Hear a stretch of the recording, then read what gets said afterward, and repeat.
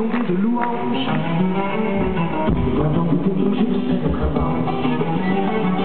Nous par les prophètes les plus impitoyables.